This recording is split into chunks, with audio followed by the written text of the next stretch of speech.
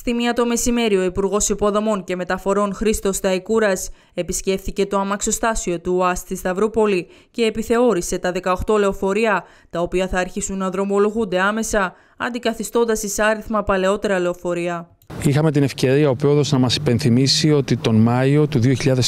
2024 ξεκίνησαν κανονικά 110 νέα ηλεκτρικά λεωφορεία στην πόλη της Θεσσαλονίκης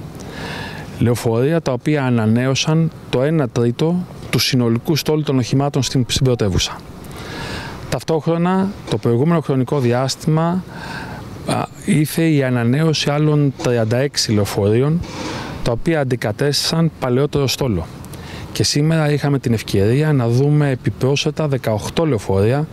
που θα αντικαταστήσουν γερασμένο στόλο των οχημάτων στην Θεσσαλονίκη. Ο Υπουργός Υποδομών και Μεταφορών έφτασε στο αμαξοστάσιο συνοδευόμενος από τον πρόεδρο και διευθύνων σύμβουλο του ΟΑΣΤ Κώστα Ταγκύρη, ξεναγήθηκε μέσα στα νέα λεωφορεία που θα βγουν στα δρομολόγια από την 1η Νοεμβρίου, από τα οποία τα εννέα είναι 12 μέτρων και χωρητικότητα σε 100 επιβατών και τα άλλα εννέα είναι μήκος 18 μέτρων και χωρητικότητα σε 150 επιβατών. Να σημειωθεί πως ο κύριος Ταγκύρης παρέδωσε στον Υπουργό ένα αναμνηστικό εντός του οποίου είναι το πρώτο εισιτήριο που επικυρώθηκε σε ηλεκτρικό λεωφορείο του ΟΑΣΤ και ήταν από τον ίδιο τον κύριο Σταϊκούρα στις 20 Μαΐου